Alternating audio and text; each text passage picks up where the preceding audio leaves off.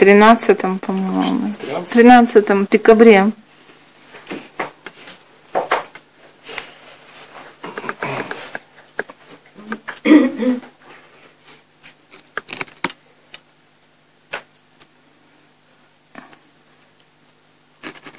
Да, там же даже видео нет.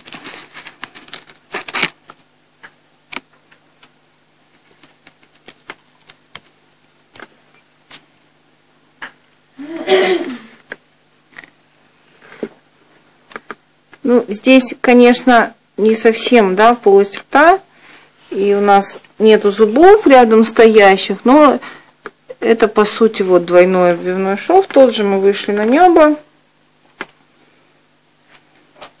Наша задача, даже если вы не двойным обвивным будете швом шить, все-таки качественно зафиксировать лоскут в области рецессии слизистно-костичный, чтобы он э, никуда в течение двух недель не мигрировал, не делся и был на месте. Это, в общем даст возможность устранить рецессию хорошо и вам иметь успех клинический.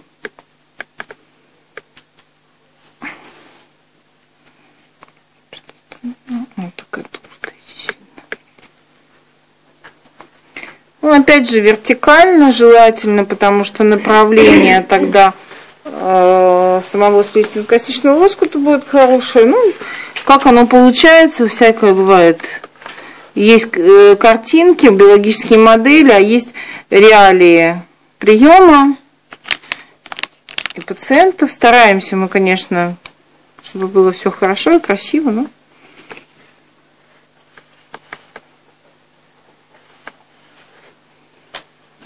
прокалываемся опять. Небно, петелечку мы уже сделали.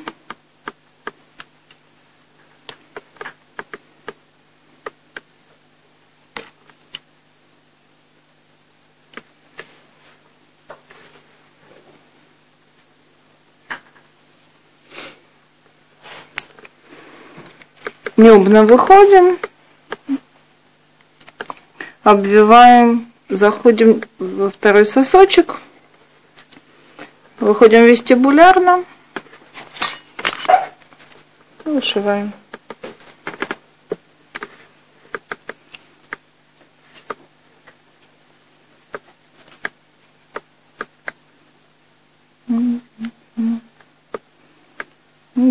Желательно, конечно, совместить ткани. Ну да. А так можно депитализировать там, да? Можно, но здесь просто я сделала узковатую рецессию, она, по идее, будет все равно шире. Угу. Поэтому оно состыкуется. Можно, можно, можно. Конечно, да, чтобы просто края хорошо были соотнесены э, по отношению друг к другу. Это обеспечит качественное заживление их. Ну, а теперь... Что? Где щель? Почему? Не вижу. Повыше немножко и все, да. Главное суть. М? Нет, ну, хорошо. Давайте. Жестко. Да дело нет не в жестких, а хорошо, сейчас мы подтянем. Ну, можно подтянуть с другой стороны. Пока ваш лоскут мобилен, да, вы его вольны перемещать каким угодно образом. Пожалуйста. Достаточно так закрыли? На самом деле в полости рта у вас как бы совершенно другие будут условия. Во-первых, будут соседние зубы, э, рядом с которыми вы будете работать, и вам уже сами межзубные сосочки не дадут, да, никуда, ни шаг, ни вправо отступить и. Там диктует э, сама э, ситуация в полости рта всегда. Мы отрабатываем с вами именно пошаговый клинический протокол. И теперь здесь мы накладываем сугнут костичные по возможности узловые швы фиксирующие первые.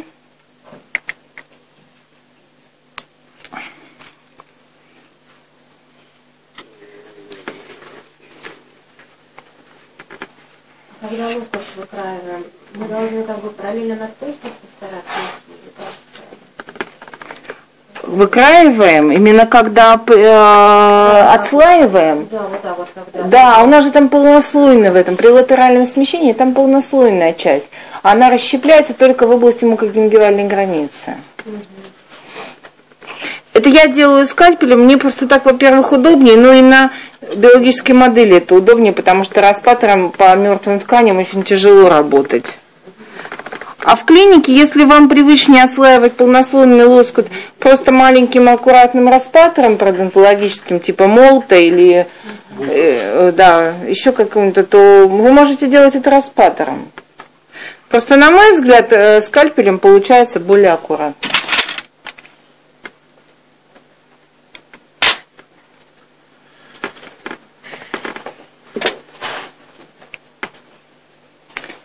Ну и С другой стороны мы также субнадкостично фиксируем.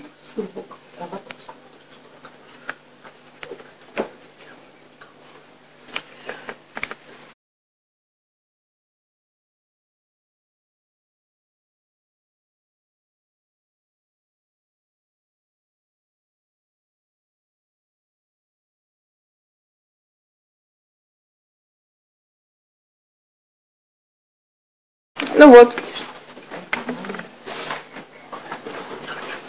Потом мы накладываем, ушиваем вертикальные разрезы, и этот дефект заполняем какой-либо да, коллагеновой губкой, гемостатической губкой. Чем вы работаете? Накладываем крестообразный шов для фиксации материала, закрывающего дефект. Ну, в общем, все как мы на картинках с вами. Просто я решила совместить уже биологическую модель для двух методик, чтобы это как-то побыстрее все, потому что у нас тут то с камерой, то все что-то. Есть какие-то вопросы по ротированному смещенному лоскуту и латеральному перемещению? Доктора. Покажите. На ножку покажите. Да, у нас еще до имплантов есть о чем поговорить. Это лоскут на ножке, по сути. Нет. Хорошо. Ну, лоскут на ножке, я смотрю, больше никого не интересен, поэтому в каком-то индивидуальном порядке. И это интересно. Если мы успеваем и то, и другое, было бы здорово.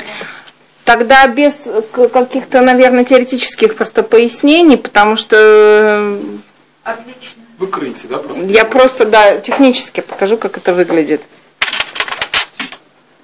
Вот у вас, сейчас, что видно, я не вижу, вот так, сейчас я посмотрю, вот, отлично, сейчас видно.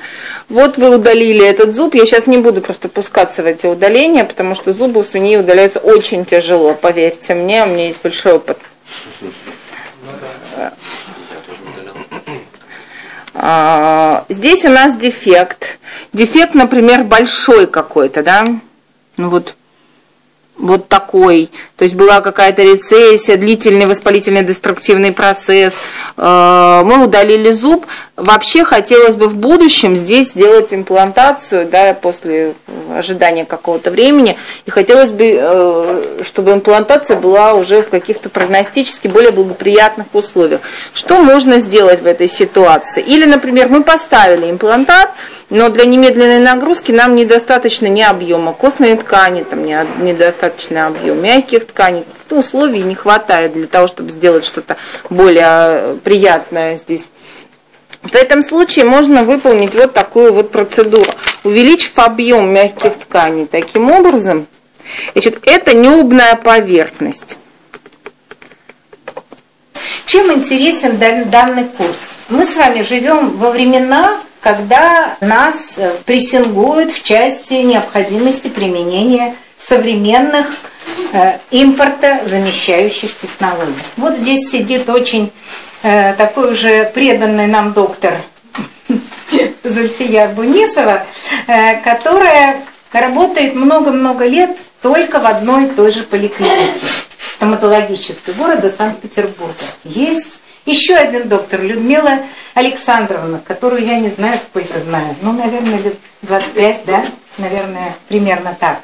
Вот. И могу сказать, что она тоже верный, верный, такой преданный доктор поликлинического комплекса. Но она тоже, она интересовалась, она искала новые пути, применение каких-то новых технологий. И сказали, ну, года через полтора мы, может быть, это купим.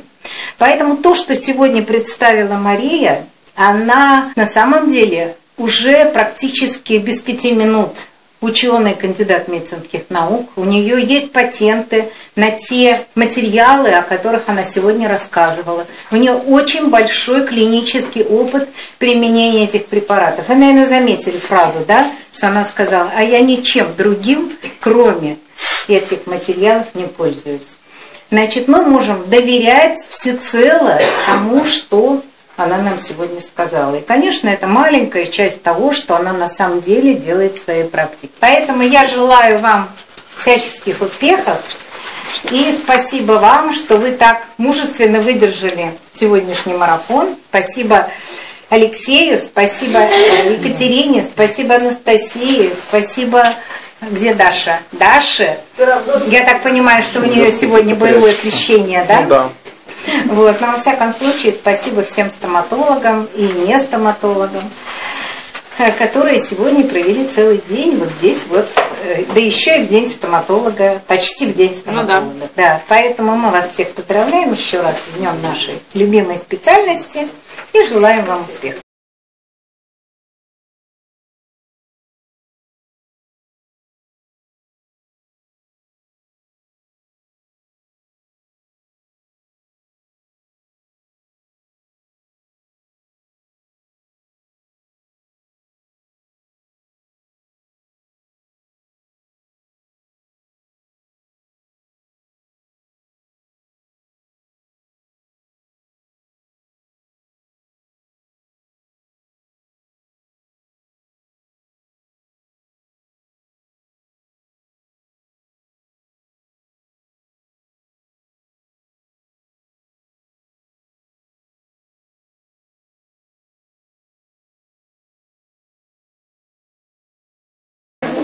Здравствуйте, меня зовут Андрей Владимирович Смоляков. Великолепно. Подача информации, организация, проведение. И с удовольствием посещу и буду посещать э, в дальнейшем циклы. Спасибо Марии Александровне, Алексей Николаевич.